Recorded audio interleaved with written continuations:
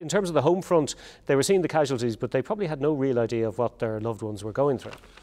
I'm not sure that's the case. I wonder. I mean, there are people writing back, and, the, and all right, letters are censored. Um, but the casualty lists are still there in the papers. They are published, and you can't escape that.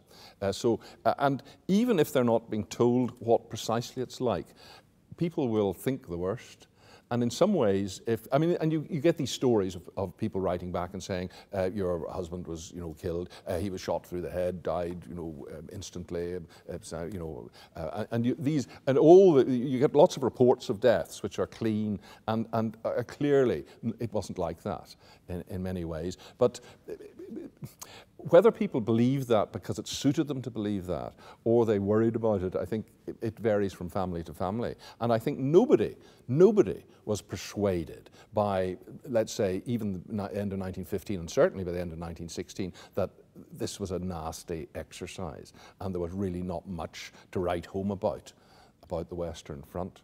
And how about the experience of troops at the front line? I mean, we, we've seen various cultural representations over the last 50 years, uh, which would describe a certain way of, of life in, in the trenches. But I mean, you were saying earlier that some people jo who joined up did actually enjoy the experience to an oh, extent. of course. Well, there's a sense.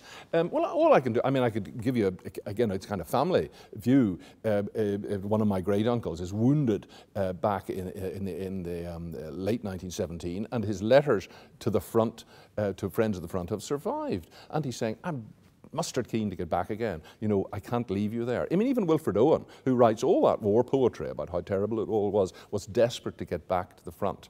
And he wasn't desperate to get back to the front because he liked it, because he felt it was his duty, and he'd be letting down his colleagues. So there's that sense. There is the sense, too, of doing really important stuff.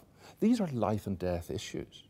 Um, and if you fail somehow um, uh, you will never live with yourself. You find people, you know, worrying about why have they been, you know, saved or why have they survived and their friends haven't survived. And that embeds a kind of commitment um, uh, to see the thing out. Now, whether it's right or not, or whether the methods they use are right or not, the, the, the kind of steadfastness of troops, Irish, British, German, and French, is astonishing.